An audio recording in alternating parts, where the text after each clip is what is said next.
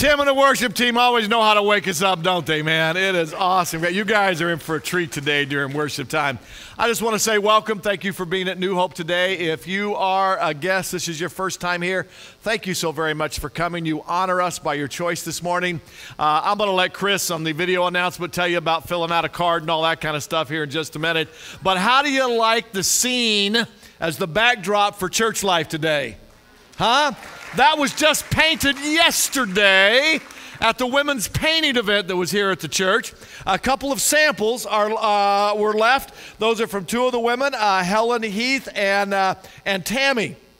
And so uh, their pictures are over there so you can kind of see what they did. So, ladies, maybe if you were sort of afraid to come, all right? Uh, next time you'll see it's not so frightening, you might end up with a masterpiece. All right? And Milo took a picture of one of them today and put it right up there on the screen for us. So I think the ladies did just a great job. Now, the art instructor told everybody at the class yesterday art is most appreciated from six feet and further back. Okay? So don't get any closer than six feet to fully appreciate the artwork which is done over there. Uh, may I direct your attention to the screen and our morning announcements, if you would, please.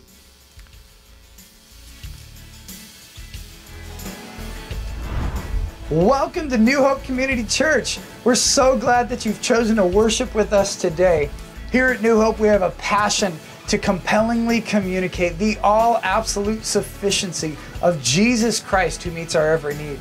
If you're a guest with us today, we would love to get you some information about the ministries and what New Hope has to offer. So if you could, fill out those connect cards right in front of you, fill that out, drop it right in the offering plate, and we would love to uh, send you something in the mail. We're not going to call you, we're not going to come knock at your door. We're going to send you something in the mail so you can hear more about what New Hope is about and the ministries we have to offer. One of those ministry opportunities is here at New Hope on Wednesday night. Man, our Wednesday nights are full of energy and excitement. We have our Jam Kids for kids uh, first grade through sixth grade. We have our junior high program that meets. Our adults are in a Bible study called The Good Book, going over main stories of the Bible. It's, it's good stuff. We have our choir rehearsal happening. We have grief share happening. And if you're like, hey, I need some food, we also have dinner happening. Family dinner start at 6:15 if you want to come and eat, get to know some different people here at New Hope. And then at 7 o'clock, we'll all split into our different areas and uh, go learn about Jesus together. Oh, man, it's cold out there. Is anybody else cold? Oh. So here we are at Calvin Crest. What's the weather going to be like this year? Who knows? Nobody knows really. We won't know until we see the weather report. Anyway, you don't want to miss this. So go online right now and register at calvincrest.com for our women's retreat at the end of April. See you there. Hey, New Hope, it is pie auction time. Man, I'm so excited. This time every year, I get the privilege and the opportunity to take a group of students down to Mexico. We've been going to Rosarito, Mexico to work on an orphanage down there to spread the good news of Jesus, to compellingly communicate the all sufficiency of Jesus down in Rosarito, Mexico. Part of what helps us get down there is our annual pie auction. This is a great time where our very own senior pastor, Tim Rolen, serves as auctioneer as he auctions off the desserts you make so you can buy them. It's a great system. I love it every year. Hey, so this year, if you want to make something for a pie auction, I would absolutely love it. If you want to bring something, you're a painter and you want to give away a free room, we would love that as well. In your bulletins today, there was an insert. You can write down those items, and that helps kind of the registering of your items. That helps us do it a little bit quicker. So it's pie auction time coming up on March 11th, Sunday night, 6 p.m. We would love to have your pies there by 5:30. I can't wait. I'll see you there. Hey, New Hope. This is Eric Olson. I serve as the ministry leader for Celebrate Recovery here at New Hope. This Thursday, we're going to celebrate nine years of having Celebrate Recovery here at New Hope. We'd love to have you come join us. We're going to have an awesome time. We're going to have a barbecue dinner starting at 5:30. We're going to begin worship with some mini testimonies, a little program. Uh, we we hope to be done by no later than 8:30, and then we're going to have birthday cake. So please come join us, help us celebrate. Uh, you will be blessed, I'm sure. On March 17th, we have an all church workday scheduled. There's all sorts of jobs that need to happen around here at New Hope, um, from vacuuming to window cleaning to the list goes on and on. And so, March 17th, uh, small groups is sponsoring then all church workday. Um, 8 o'clock, meet at the church at 8 o'clock. Coffee's on at 7:30 because we always need coffee to work well. Uh, and I have a feeling there might be some delicious breakfast. I'm just saying. And so come at 8 o'clock, we're going to start our workday, probably till about 1 ish, 8 to 1, all church workday, March 17th. Can't wait to see you there. Men, don't forget this Saturday, 8 a.m. There is men's breakfast. There'll be a delicious breakfast. Coffee will be ready at 7:30. Uh, we're going to try and do it every month this year, except February, but uh, we're going to try and fit it in every other month for the year. Uh, so don't forget, second Saturday of every month will be men's breakfast. Hey, prime timers. That's right. I'm talking to you guys and gals who have the privilege of being 55 years or older. We have a place for you. Tuesday, March 13th, we have our prime timer luncheon. We would love for you to come and show up. Bring some food if you're a regular. We got to fill that dessert table up, guys. Come on, it's to be delicious. If you're not a regular and you want to just come check us out, come check us out. I'll give you a hint. Uh, let's call it a good tip. The tip is hit the dessert table first. It's to be awesome. There's all sorts of things. So if you can make something, if you can bring something, we'd love to see you on March 13th. Thank you so much for joining us today. If you have any prayer requests or prayer concerns, or just want to let us know how you're doing, feel free to fill out one of those Connect cards and put the prayer request on there. Us as a staff would love to pray for you this week and have the church be praying for you this week. We hope that today be a day that you see Jesus clearly, that you hear from him, that you trust in the all absolute sufficiency of Jesus Christ who meets our every need.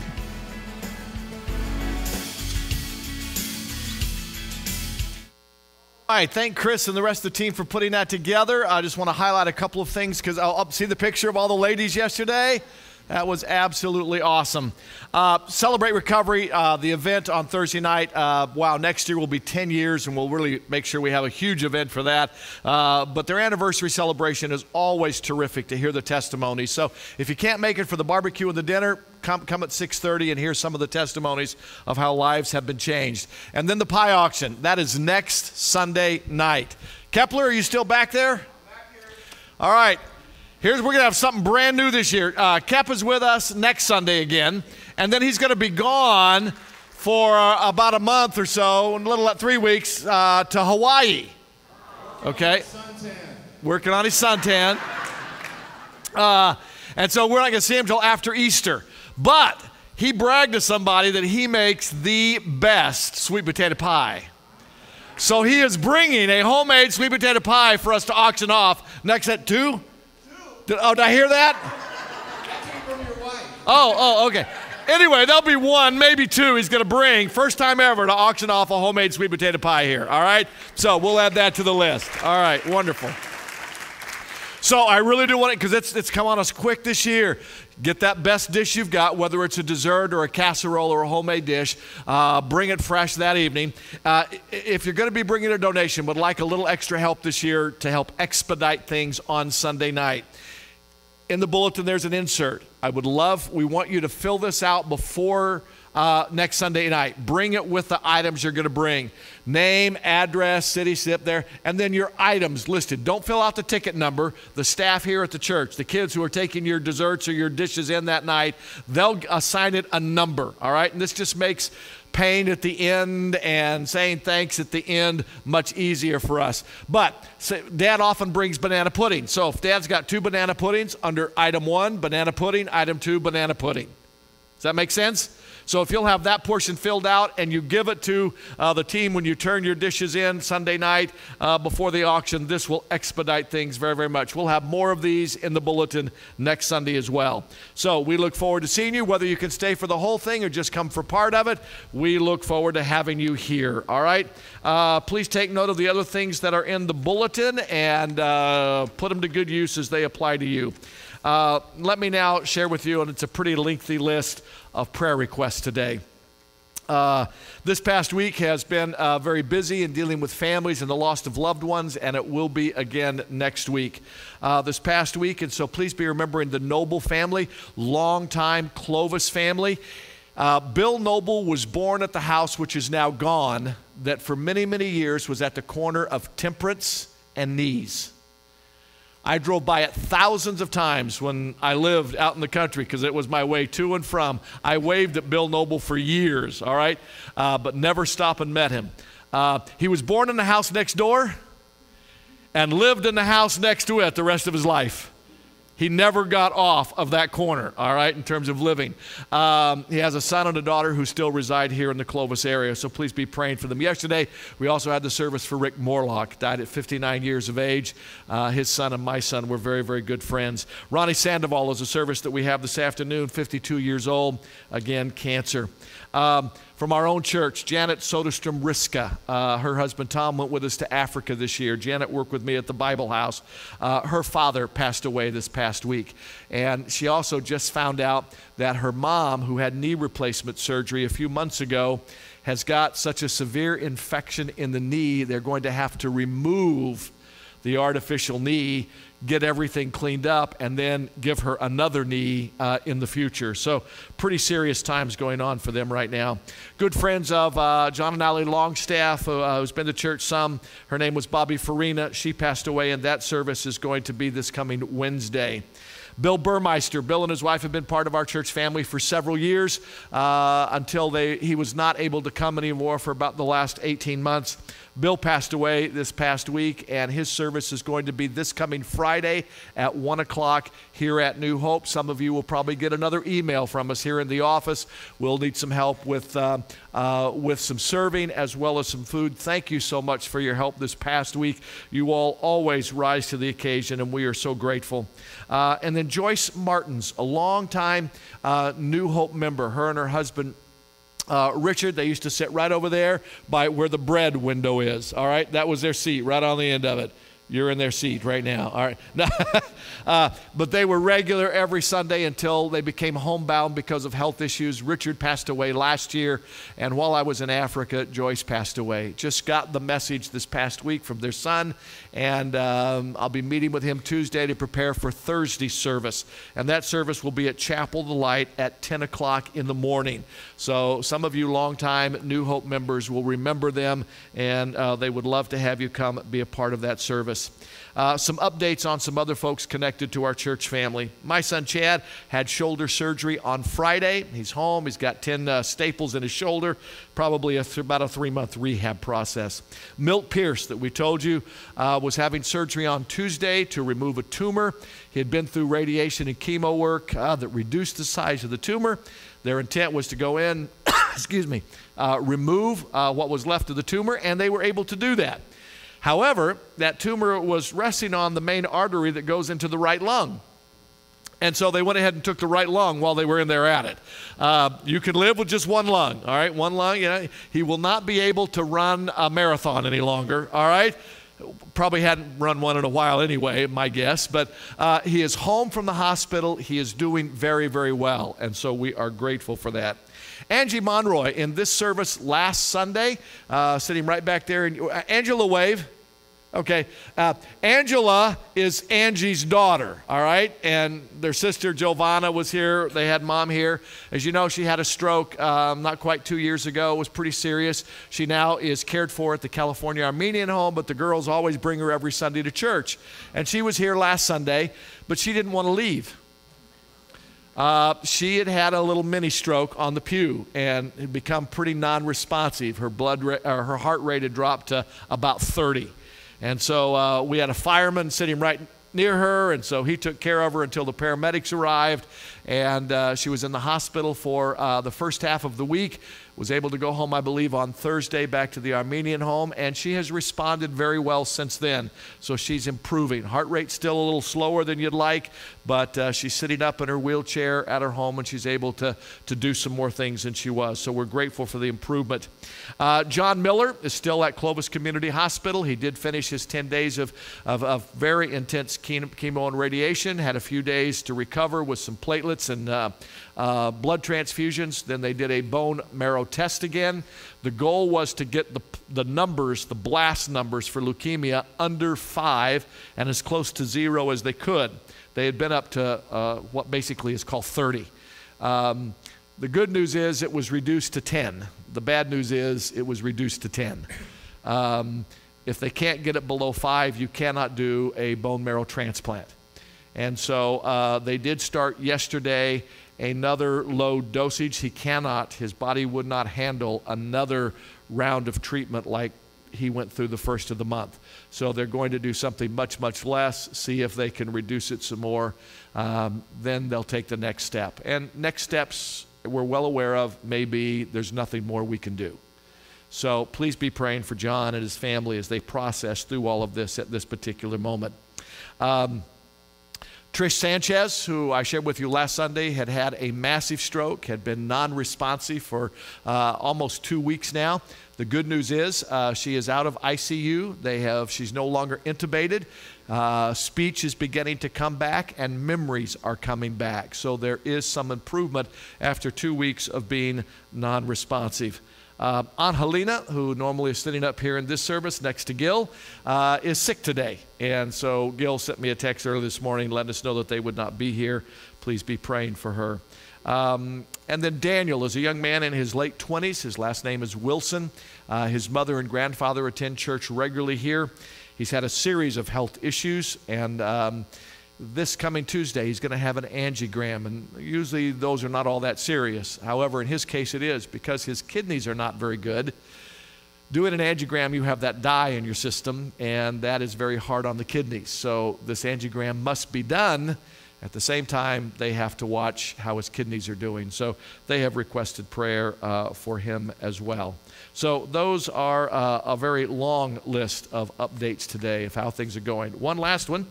Uh, Rich Smith, our associate pastor of counseling here, uh, he had a really difficult small group evening this past week. During his small group, he had a TIA, which is kind of a mini stroke. Uh, he became non responsive during small group. They called for an ambulance. Ambulance took him to St. Agnes Hospital. St. Agnes Hospital ran a series of tests, including an MRI, and discovered he had a brain clot in the brain. Uh, they were surprised he had not had a a massive stroke. Um, apparently, the Central Valley of California does not have a doctor who does the procedure where you go in through a major artery into the brain and break up the clot. So they wanted to airlift him to the Bay Area. There is a facility in San Jose that that's a specialty of theirs, but the weather was so bad Thursday night they could not airlift him. So they put him in an ambulance and sent him by ambulance to San Jose. Um, have no idea what transpired from Fresno to San Jose, but it was good when he got there, and then they ran their own set of tests. The blood clot was gone. You can put any answer that you want to. I'm going to simply say thank you, Lord, all right, for that process. Uh, they did keep him until yesterday uh, for observation, ran another set of tests to make sure uh, there wasn't something that had been missed. And um, they did not release him until late in the day yesterday. And so uh, Regina let me know last night that they would be back today, but they were spending the night up there, which was a good choice with the weather the way it was, and they will be coming back home. So uh, looked pretty bleak for us late Thursday night with Rich and uh, by the following day, things looked really, really good. So I know they would appreciate your prayers of gratitude for what's transpired. I'm going to ask our ushers to come forward and wait on us as we have our morning tithes and offering. Would you join with me as we pray?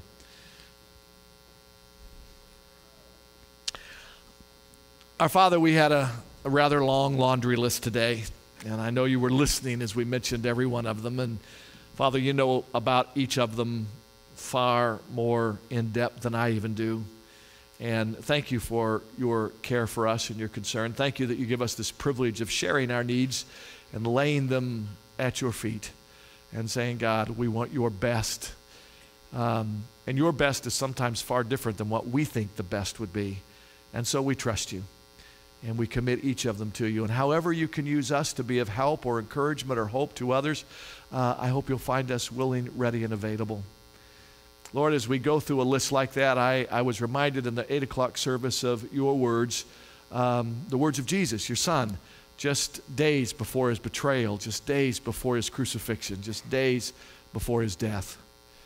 Jesus said these words to his followers Do not let your hearts be troubled. As Jesus faced great trouble, he tells us, Don't let your hearts be troubled. He said, In this world you will have much trouble, but I have overcome the world. Just as I'm going to face betrayal and crucifixion and death, and I will be victorious over all that, I will be victorious in you through whatever troubles you may face. So don't let your hearts be troubled. Father, may we learn to live in the reality of your promise because we have learned to live in your presence moment by moment and day by day. Thank you, Father, for the privilege of giving today, sharing back with you our offerings and our gifts because we live a life of faith and dependence upon you. Thank you for the way in which you meet our needs. And thank you for the privilege of investing your resources literally around the world. We trust you for this and so much more in the name of Christ. Amen and amen.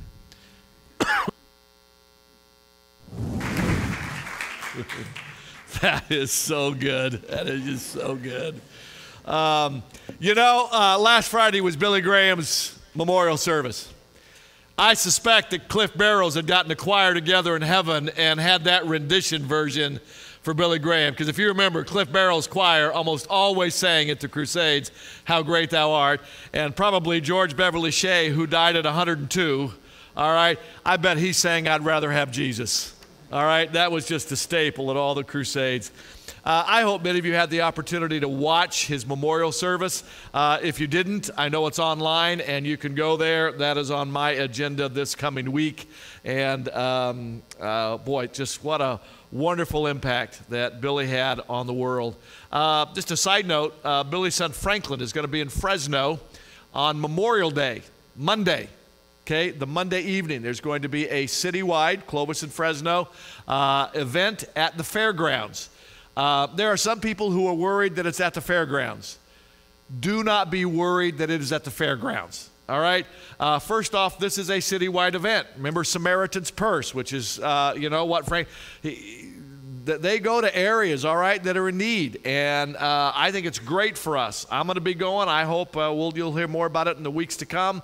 Uh, but I hope that on that Monday, we've got at least 100 folks from New Hope who make the journey uh, to the fairgrounds, be there for that. I can't wait to see what Franklin might have to say, knowing that his father's just in heaven for a couple of months. Um, but it's a chance to reach a greater community with the message of Jesus Christ. So that's just a little advertisement.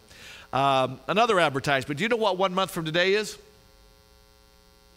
It is Easter Sunday. One month from today is the first Sunday of April is Easter Sunday. If you all haven't looked at the calendar and figured out that the first Sunday of April is April 1st this year. Okay? I suggest to you the original April Fool's Day was Easter Sunday morning when folks showed up to take care of the body of Jesus, only to hear, April Fools, he is not here, he is risen, and he is risen indeed. Um, and so you're going to hear a little bit of that on April Fool's Day this year, all right? Uh, and our, our, our, Easter choir is just going to be magnificent. We also have a treat for you, and that is Palm Sunday, our children's choir. They have already been working a month during this service over in our Sunday school area. Uh, our kids have been working on uh, a Palm Sunday musical and they will be sharing that with us on Palm Sunday morning. It will be just absolutely uh, terrific. Um, I love the line of one of the songs that we worship with today, and it's so appropriate for today's message, and that is Nothing else matters. It all revolves around Jesus. I hope that's true for your life. If you're going to be an open door Christian, that needs to be true. All that matters is Him. I invite you, if you'd like to, to turn to Genesis chapter 11 and put a finger there, or if your Bible's like mine, you can just pull it out, that first part, and you can set it right above, and you're going to be in good shape. Um, Hebrews uh, chapter 11 and Genesis chapter 11. We'll be reading from both of those passages in just a few moments.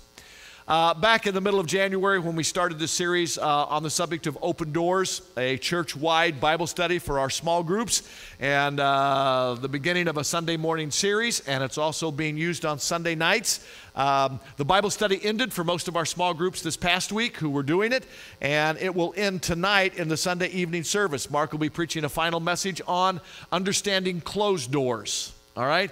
And uh, the Sunday morning, we're going to stay on this subject all the way through Easter because I think the greatest open door in the history of the world took place on Easter Sunday morning. So we're just going to kind of stay right in this theme until we get to Easter. Uh, but tonight, you want to come back uh, over in the bridge building, and Mark will be preaching about understanding closed doors. Uh, Sunday night is available to you at any time. Uh, I'll have to say, probably from a staff, uh, the response from the church has been kind of lukewarm about Sunday nights. All right, some nights it's been we've had as many as hundred and some. Uh, more often than not, it runs between the 25 and 45. Uh, but it fills, I think, a very important need in our church. I would love for some of you to, to, to check it out, take a little more advantage of it. You'll get a chance to meet other people from other services you wouldn't meet otherwise. Uh, it's much more informal, which uh, uh, lends for a few things to take place that doesn't happen on a Sunday morning. It also gives other members of our staff the opportunity to preach more often uh, and uh, work on those skills and those gifts that God has given them.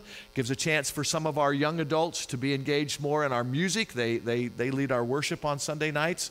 Um, and one of the other major reasons we chose to do that is there are people who cannot come to church on Sunday mornings. They work, that's their schedule. And uh, we just had another new, this has happened probably, I'm going to say a third of the time on Sunday nights as somebody shows up at New Hope for the first time because they went online and found out, oh, you have a Sunday night church. I can go to that one. And that's how they've been introduced to New Hope and, in some cases, even to Jesus Christ. So that will be tonight at 6 o'clock, and uh, Mark will love seeing you here this evening. Back when we started the series, the first message that I preached was looking at seven characteristics of open door people. These were characteristics identified by uh, the pastor and the author of the study that our small groups were engaged in. And uh, I sort of outlined those seven characteristics and only had time to talk about three of them. And so today, what I'm going to do is outline those seven characteristics again, and I'm going to talk about a couple of more of them. Uh, in the 8 o'clock service, I talked about the rest of the four. In the last service, I only talked about two out of the remaining four. So we'll just figure out where we end up in this service today, all right? I had to tell them in the last service today's message is kind of like a stick of salami. You just cut it off when you get full, okay? And so that's kind of what we're going to have to do, I think, today, all right? But here are, if you take notes, here are the uh, seven characteristics of open door people. Um, you may remember them, but if not, here they are again. Number one, and we already looked at it in depth, is open door people are ready, ready or not. Open door people recognize that it's not about their preparedness, it is about Christ's ability. And so, open door people are people who are ready for an open door at an instant moment because they know that they're dependent upon God, not upon their own preparedness. Open door people, number two, open door people are unhindered by adversity. Sometimes people will say, when there is adversity, that must mean it's a closed door. God never said that. Walking through an open door doesn't mean there isn't adversity and obstacles on the other side of the door. The door is open. There may be challenges when you get on the other side of the door. Open door people don't perceive adversity as obstacles, and obstacles are not understood as don't go, closed door. The third characteristic of open door people is they are blessed to bless. An open door person knows that the presence of Christ in them has brought them many blessings, and they want God to be able to express His blessing through them to others. Let me give you a very practical example of what I'm talking about here. This past week, an email went out to much of the church letting you know that there was going to be a memorial service here yesterday. And on that There were uh, people who responded, Yes, I can show up and I can set up for the memorial service. There were other people who checked off, Yes, I can show up to clean up after the memorial service and get the church ready for Sunday morning. There were others who responded and said, Yes, I can come and serve during the serving time of the reception after the service is over. And there were others of you who said, I can bring a salad. Um, you know what? Uh, I can I can make a dessert. Okay? For some of you, that's a piece of cake. I came up with that one all by myself last service. I was very proud of that. Was, that was a good one. Uh, but, but, but the fact is, you, you said, hey, here is an open door. And I want you to understand open doors aren't always about going to Colombia or Africa. Open doors are about being available for opportunities. Some opportunities are small, some opportunities are big. But you all responded. And as happens on many occasions, the son of the dad who passed away at the end of the event yesterday, the service was over, everything was cleaned up, put away. He was still hanging out, visiting with folks in the parking lot. And he said to Shelly, You tell Tim and the church, thank you. They made a hard day better for my family. That's an open door. But I learned something more yesterday. I don't often eat at the receptions. There, there, there's, one, there's a lot of them, and number, number two, I don't know who cooked it. So, um, Yesterday, what it was is, you know, uh, when they told me what they were going to bring, they were going to, his, his favorite food was Mexican food. His favorite restaurants were Mexican restaurants. So they were going to contact either Sal's or Los Pepes and Sanger, and they were going to get uh, trays, all right? So taquitos and small burritos and those kind of quesadillas. And, be, and so then we said, okay, well, well, we'll supplement that with salads and desserts from our church, all right? So there'll be plenty of food for everybody. They made a little change of plans and didn't tell us they had a, um, um, a, a Mexican couple from Sanger who has a catering business called Garcia's Catering come and serve. Well, they didn't bring hors d'oeuvre trays, they brought their kitchen. They, I mean, they brought the, they, I mean, they, they got the, the, heat, the fire, all right? Uh, they had the pots, they had the, the beans in there, and they had the carnitas, and they had uh, the, the, the shredded beef, and they had rice, and, and they had carne asada. I walked in that room and it smelled like heaven, and they had homemade salsa. I, I, I, was almost ready to believe what Gil Hernandez has told me for three decades that they speak Spanish in heaven. Okay, that that's the heavenly language because it smelled like heaven yesterday. And they, they had homemade salsa, just that right blend of bite and flavor. It was incredible. I'm getting really, really hungry right now. And so I, I, I, said, man, would you make me just a little plate? I'm going to eat this. This was, and, and, so I went and I sat down. I was kind of by myself, and um, um, Mrs. Wildy came in.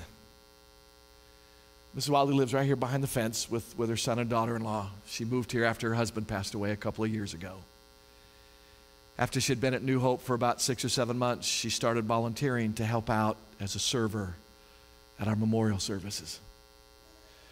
Mrs. Weldy, though, has taken that open door to another step. I've watched her. Others have watched her. She, she doesn't just slop food on a plate. And, and uh, uh, none, nobody slops food on the plate here. They're very kind with it. But, but she's not just putting food on plates. When she, she's engaging people in conversation. When she's finished serving, she goes out and with pitcher in hand and she goes to their tables and she, can I get you more? Can I, can I, can I throw that away for you? She, she sits down with the family at, the, at, at a family table and she talks to them. She takes a second open door and she goes a little further. And then yesterday she stopped and she said, Tim, do you remember? And she gave me a name and she said, Do you remember that? I said, Yes, I remember. It was about six months ago. She said, Yeah. She said it was a, a wife who lost her husband she said, That day we had a little quiet time, just the two of us, and I told her I know exactly what she's going through.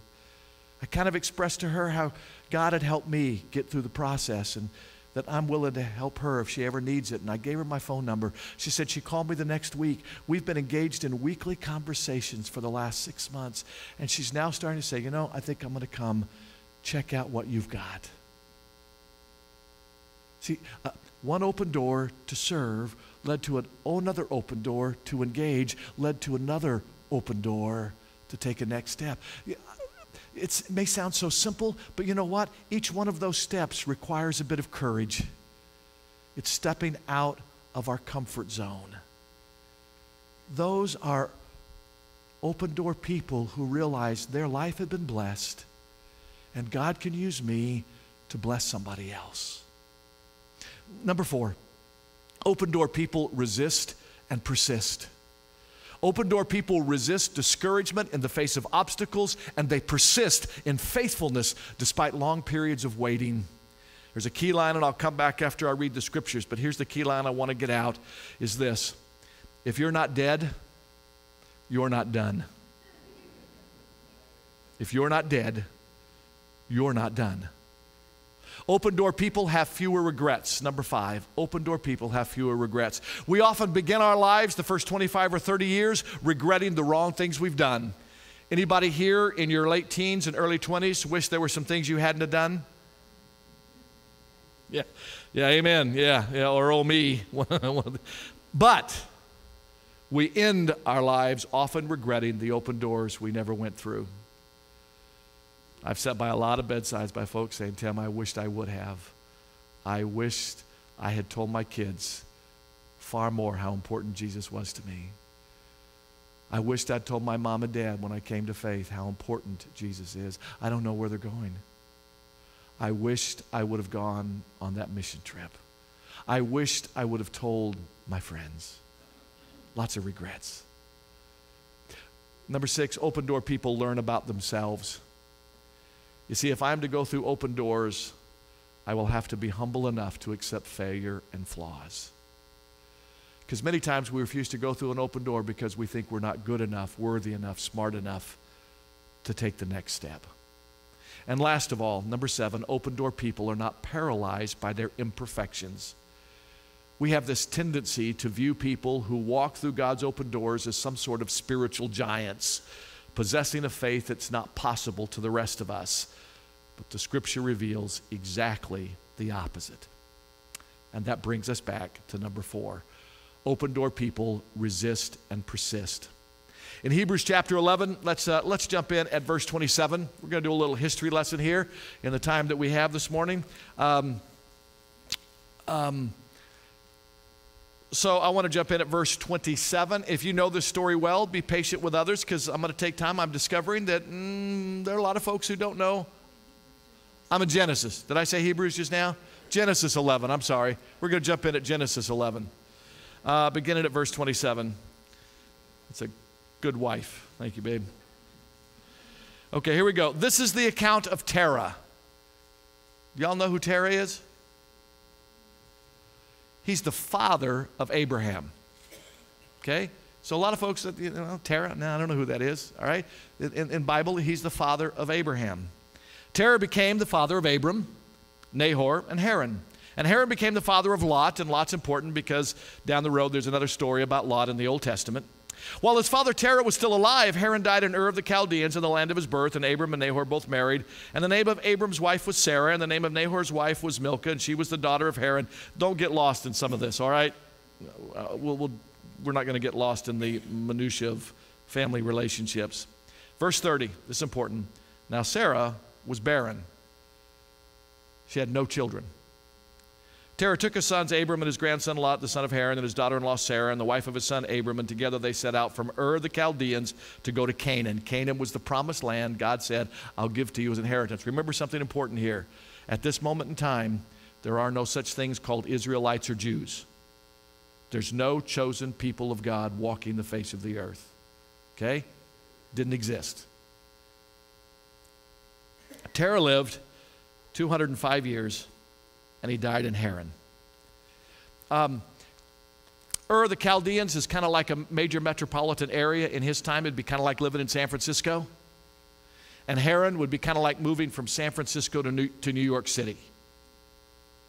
Okay? Very similar. They were the hub of culture and education in their day. And so they're supposed to go to Canaan. Terah leaves Ur, finds a place just like he left and says, I think I'll stop here. We'll come back to that a little later.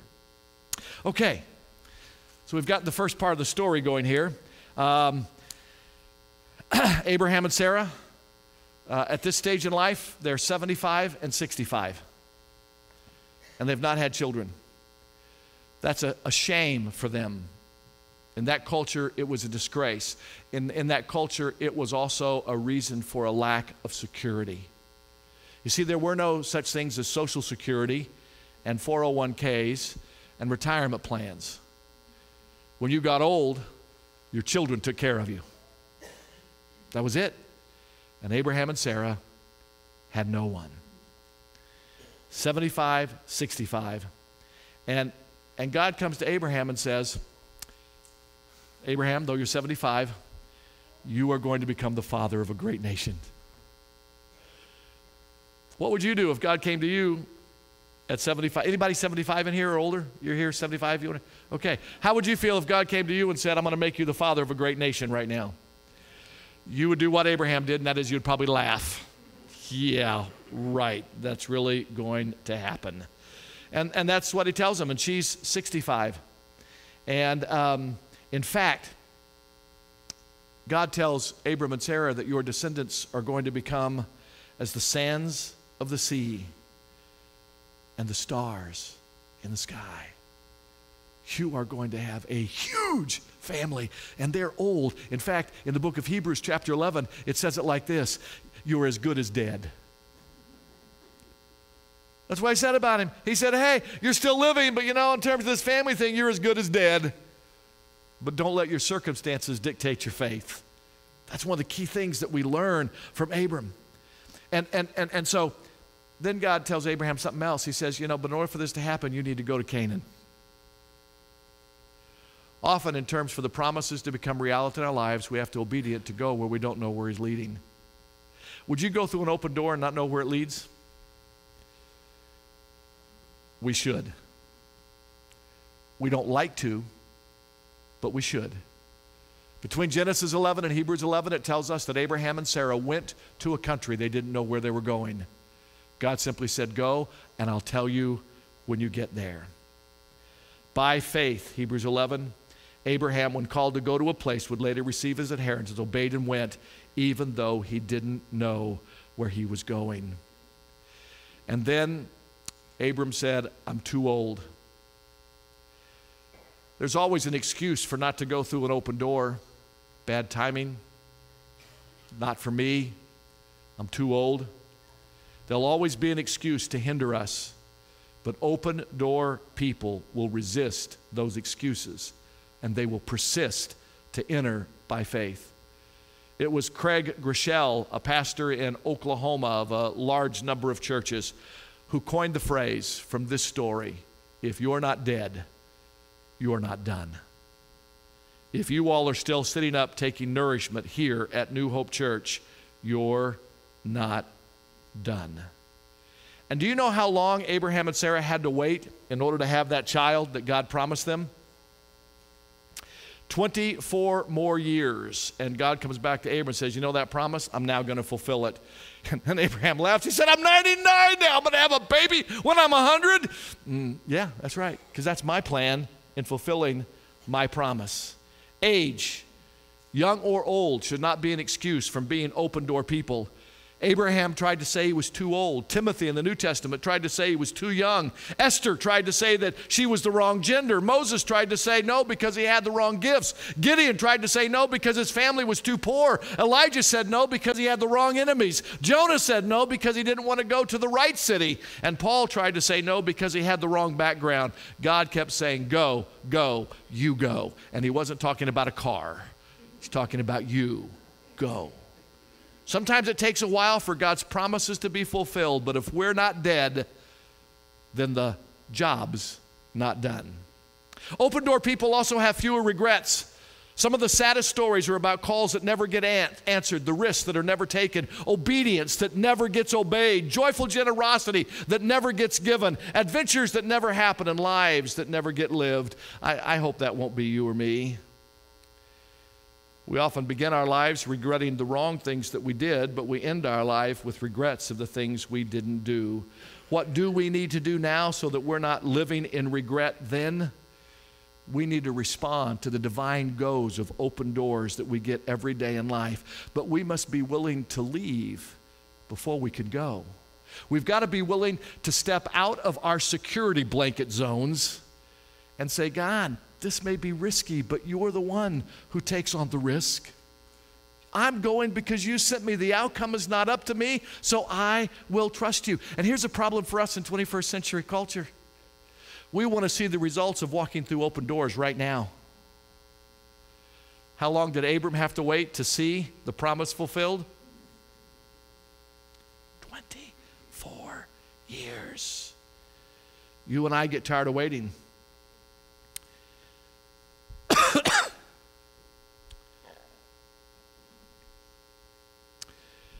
Abraham and Sarah got tired of waiting. Some of you remember that part of the story. I think it was 15 years had passed and the promise hadn't fulfilled, fulfilled yet. And so Sarah gets an idea, and, and, and you and I do this frequently with God. Ooh, God needs a little help getting out of this jam he's in. And so Sarah said, You know, the culture in Ur, where we came from, they had a process where a couple who was barren could have a child and continue the family name. We think that surrogate mothers is something new in our culture. It's gone on for centuries. See, the culture that Abraham and Sarah came from was if, if, a, if a wife couldn't get pregnant, then she could take her handmaiden, her young servant, and she could offer her to her husband for a night so that she could then be a surrogate mother. And when that baby was born, the handmaiden would give it to the, the wife, and they would raise that child as their own. That was culturally accepted. But remember, God said, I will give to you and Sarah a son. Sarah had waited long enough and she thought, okay, God told us the plan, but we need to help him fulfill it. So, can you imagine 75 year old or 80 year old woman coming to her husband and saying, I got a 22 year old handmaiden, and I'll let you sleep with her for the night, and she'll have a baby for us. What do you think, honey?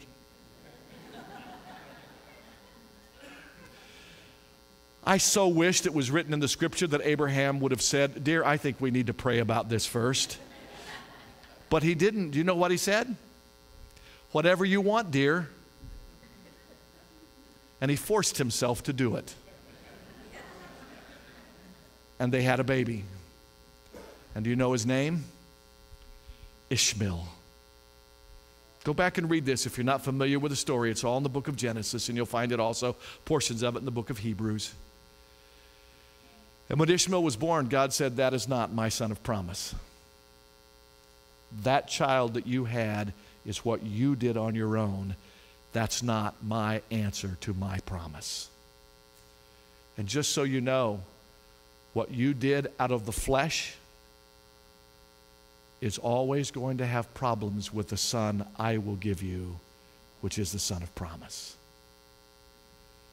Ishmael and Isaac, brothers, yet enemies. And in case you don't know the rest of the story, all the problems in the Middle East today centuries later are because of a man and a woman trying to do for God what only God is supposed to do. Because all the descendants that are battling the, the Jewish nation of Israel are all descendants of Ishmael. And God told Abraham, That is not my son of promise, and here's a promise I will make you because you chose a fleshly way to deal with a spiritual matter, those descendants will be at war with each other for the rest of their days. Until Jesus comes again, there will never be long term peace. I don't care who our president is. Nobody will bring long term peace to that part of the world because that is still the testimony that we should never take matters into our own hands. Open door people have fewer regrets, and open door people learn about themselves. Abraham and Sarah learned something about themselves in the process. But guess what? Just because they made some mistakes did not cut them off from the promise of God. That's a hope I want you to walk out here with today. A lot of times we will not walk through the smallest of open doors because we don't think we're worthy to walk through them. Trust me, this was not the only mistake that Abraham and Sarah made after they left Ur on their way to the land of Canaan. Did you know that Abraham lied twice to two leaders of countries about his wife Sarah? He told them, She's my sister. Because he thought she was so beautiful they might be interested in her, and he didn't want them to think they needed to kill him in order to have her. What a jerk. And one of the, the, the Pharaoh of Egypt said he knew something was amiss. And so he said, Abraham, can you tell me the whole story about Sarah. I've heard rumors she's your wife. Well, yeah, she is. And then he said, Why would you anger your God by telling a lie to me? See, eh, I mean, he didn't do it once, he did it twice. How many times have we lied to God and haven't learned our lesson? But what you see, if I had written this story, I would have left out the lies. I wouldn't have told that in the story. I would have left out the Ishmael part. But God didn't, and He didn't for a reason. He wants you and I to learn it's not about our perfection, it is about our trust in Him. And Abraham, in spite of his stumblings, continued to go where God sent him. He continued to go through the open door God provided. Well, uh, the salami needs to be cut off. And so I'm going to stop right there. And we are going to pick up with the last two uh, next Sunday. Here's the thing I want to leave you with. Remember Terah? Who was Terah? Father of Abraham. All right, I need to put this part of my Bible back in its place. Um, here's the deal about Terah. He was in on he was in on the open door to go to Canaan. If you read the chapter 11, it says they were on their way to Canaan when they left Ur. But Terah decided he liked Ur, and Haran was just like Ur, so I think I'll stop right here. And he died in Haran. He never got to see or experience promise of God fulfilled in his life.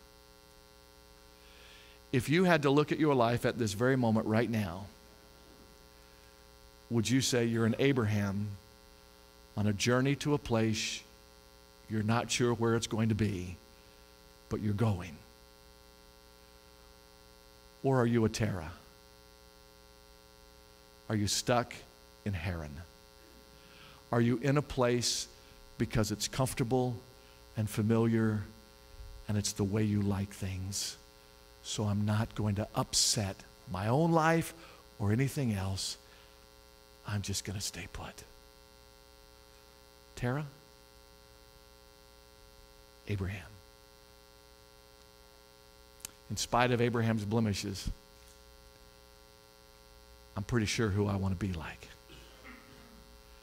I want to walk through the open doors, the small ones, middle sized ones, and the big ones because it ends in promise fulfilled. Open door people. Let's pray. Father, man, thank you for the worship today. It was so good. Nourished my soul for today. Thank you for your, your word. In spite of you, show your people with their warts and their blemishes and their failures. You never discard them you continue to encourage them to go through open doors. May we here at New Hope, may we individually as well as collectively be people of promise who don't see the adversities and the obstacles as a reason to say no to open doors. But Father, we'll go through them so that we who have been blessed can continue to be blessings to others. Reveal to us Give us clearly whether we're a Terah or an Abraham. And let us know we don't have to stay stuck in Haran. Thank you. In Jesus' name we pray. Amen. Amen. Guys, have a great day.